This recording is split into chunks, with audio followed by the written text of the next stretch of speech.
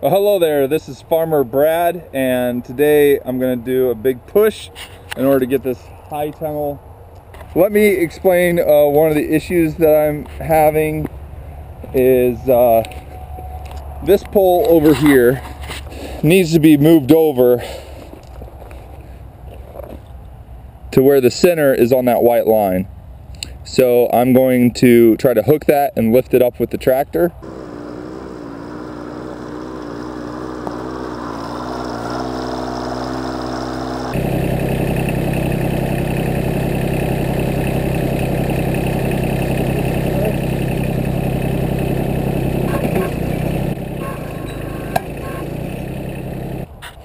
So needless to say, today hasn't gone as expected. Um, the tractor needed jumped and then the key broke off. So now I'm gonna have to dig by hand